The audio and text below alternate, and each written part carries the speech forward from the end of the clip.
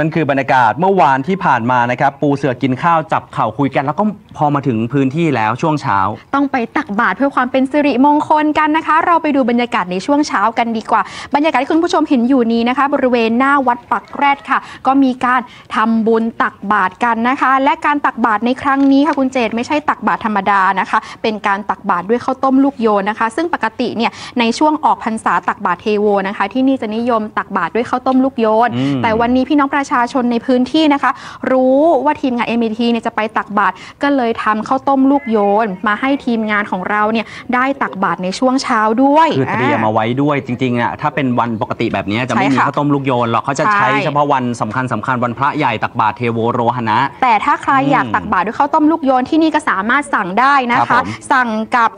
ชมรมนะคะโอท็อปนวัดวิถีหมู่ 5 ได้นะคะ ติดต่อท่านประธานกลุ่มได้อาจารย์ปราณีนะคะ หมายเลขโทรศัพท์ 0810401482 อีกหนึ่งรอบนะคะ อาจารย์ปราจีน 0810401482 นะคะเผื่อใครอยากตักบาตรด้วยข้าวต้มลูกโยนแบบนี้ครับก็โทรผมสั่งจองกันได้ เห็นบรรยากาศแบบเมื่อสักครู่นี้แล้ว นึกถึงในพื้นที่แบบว่าประเทศลาวอะไรแบบนี้นะใช่ปูเสือเป็นแถวนะฮะแล้วก็มีพระเดินบิณฑบาตกัน ครับผมโอ้โหบรรยากาศว่าสวยงามแล้วก็น่ารักได้สัมผัสกับวิถีชีวิตของชุมชนด้วยนะครับ ใช่นะคะ